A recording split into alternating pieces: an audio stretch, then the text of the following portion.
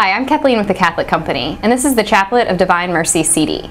This CD is a wonderful resource for special prayer during the 3 o'clock hour of mercy or for family and personal prayer at any time.